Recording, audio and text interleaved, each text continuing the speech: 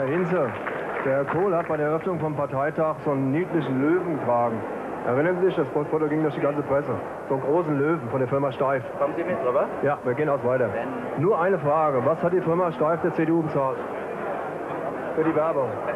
Ja, ich wollte nur mal fragen für die Werbung. Was hat sie bezahlt? Entschuldigung, lassen Sie Er kann uns doch mal eine Antwort geben. Ich frage eine ganz normal. doch bitte jetzt... Haben Sie was bezahlt? Haben Sie was bezahlt? Vielleicht auch... Bitte. Haben Sie nichts bezahlt? Doch bitte. Ach so.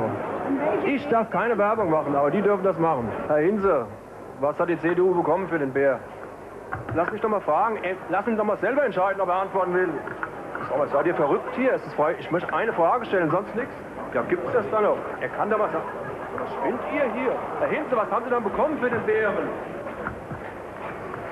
Jetzt, lauf! Hilfe! Hilfe!